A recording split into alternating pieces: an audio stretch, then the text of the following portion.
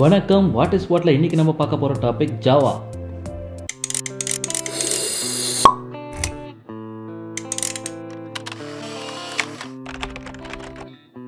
Java ஒரு computer programming language Sun Microsystems ஜாவாவை release பண்ண year nineteen ninety five James காஸ்லிங்ன்றவர் ஜாவாவை create பண்ணவர்.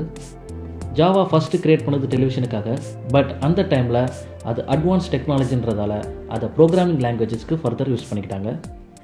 First ஜாவாக்கு வச்ச name Oak then Green then லாஸ்ட்டாக தான் அதுக்கு ஜாவான்ற பேர் வச்சாங்க. அதுவும் ஒரு காஃபி ஃப்ளேவரோட ஐடியாவால் ஜாவாவோட மெயின் ஃபீச்சர்ஸ் பார்த்தீங்கன்னா பிளாட்ஃபார்ம் இண்டிபெண்டன்ட் அதாவது நம்ம பண்ணுற ப்ரோக்ராமை கம்பைல் பண்ணிவிட்டு அதை எந்த ஆப்ரேட்டிங் சிஸ்டத்தில் வேணாலும் நம்ம ரன் பண்ணலாம்.